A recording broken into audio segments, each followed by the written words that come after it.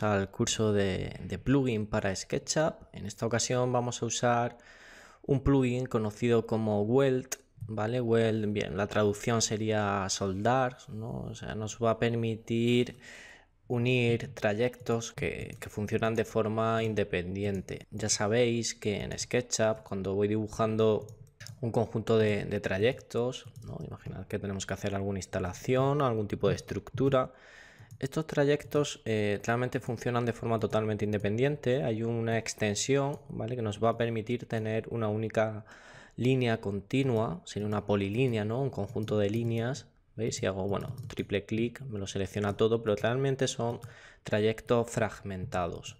Cuando veamos una serie también de extensiones que nos van a permitir aplicar perfiles o secciones a estos trayectos, nos va a interesar que sean de forma continua y que no aparezcan bueno, ramificaciones o cortes en, los encuentros. ¿vale? Hay una extensión muy sencillita, es, gratuita, que permite soldar o unir todo ese trayecto y vamos a proceder a, bueno, a buscar esa extensión en, la warehouse y a, a emplearla en, en, esta sesión que está sencillita, no va a ser algo corto, pero simplemente recomendaros que siempre tengáis en vuestra instalación de SketchUp este plugin de Weld, ¿veis? Este de aquí, porque bueno, veremos más adelante que en muchísimas ocasiones vamos a necesitar tener ese trayecto de forma continua.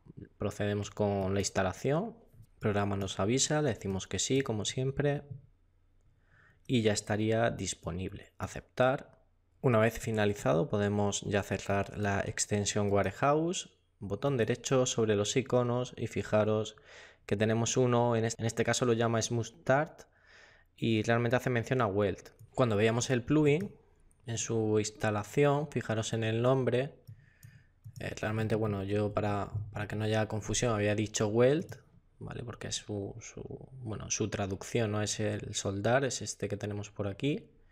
Pero realmente lo desarrolla este equipo de SmoothTart y bueno, aparece con, esa nomenclatura. Simplemente le damos aquí, botón derecho, SmoothTart y sería, bueno, este plugin que aparece aquí. Tiene un primer iconito que va a hacer el proceso de soldado y un segundo icono por si queremos modificar las opciones de, de esta extensión. Entonces si hacemos aquí clic en el segundo icono, fijaros que nos permite bueno, cerrar eh, lo que sería la curva. De momento vamos a hacer un ejemplo con esto, con todo en modo no, sin activar.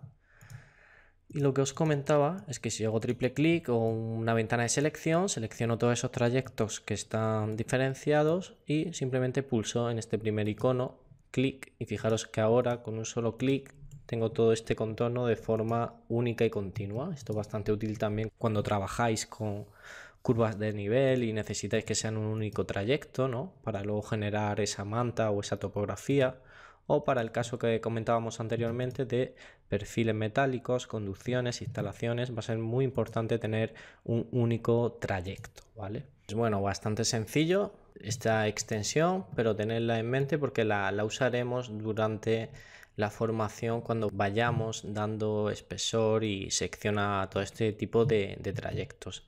Hasta aquí nada más, era para contaros este plugin de, de Well de la compañía SmoothTart. Y nada más, me despido y nos vemos en la siguiente sesión sobre plugins.